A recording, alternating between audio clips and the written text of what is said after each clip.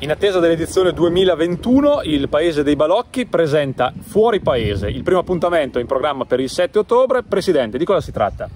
Sì, Fuori Paese sono tre eventi che organizzeremo tra ottobre e novembre.